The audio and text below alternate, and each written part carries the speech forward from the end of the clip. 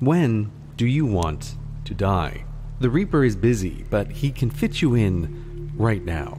Too soon, later perhaps, future you will keep the appointment, old and with a life fully lived, perhaps ever so slightly bored and ready. Now you might think that, but when the appointment whippersnapper you sets comes, it is not in the future, because you don't live in the future. You always live in the now, and thus you always die now.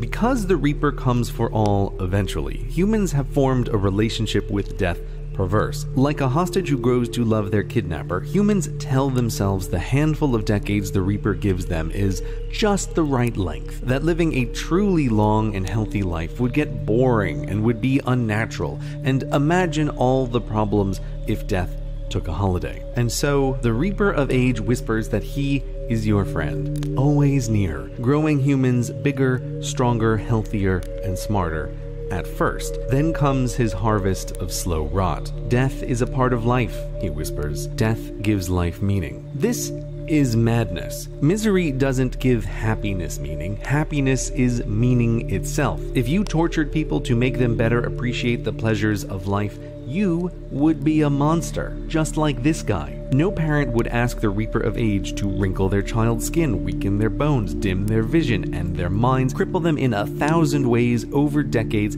to ultimately kill them, to give their life meaning. But what can you do? The world contains pain and death, and so your brain believes the sweet lies that the horrors you can't avoid are good for you. And while death is a part of life, cholera was a part of life until humans developed wells and sewers to separate water from waste. Short sightedness is a part of life until it isn't. Just because a thing is natural doesn't make it good or necessary. It's natural to live lives nasty, brutish, and short, and it's natural for humans to look at what indifferent nature provides as the starting point, as a to do list. Where humans focus, technology ever improves, and with that, the ability to make lives better ever improves. And just now, some basic tools with real promise to slow or halt the decay are becoming visible on the horizon, which raises the question just how strong is the Reaper of Age? With enough time and attention, can humans craft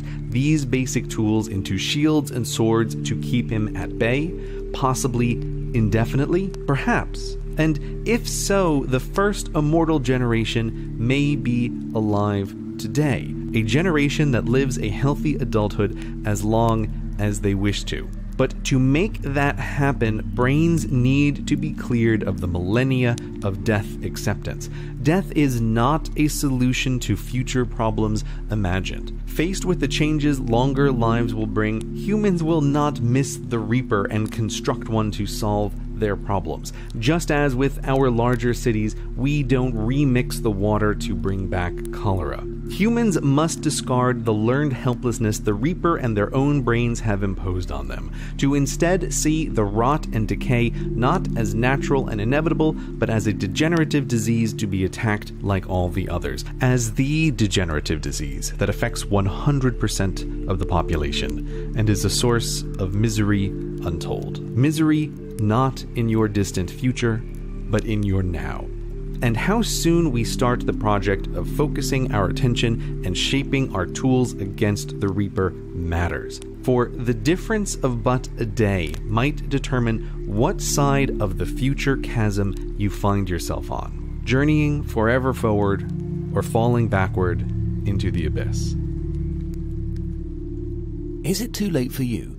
We probably won't win the war against death because death is all powerful, but we might be able to win the battle against the next best thing, aging itself. There's a realistic chance that you might live a longer and healthier life, but should we really do it? We explore this in our video.